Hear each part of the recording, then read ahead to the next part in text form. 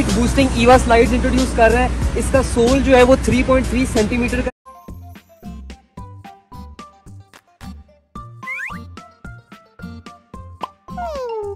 Hmm?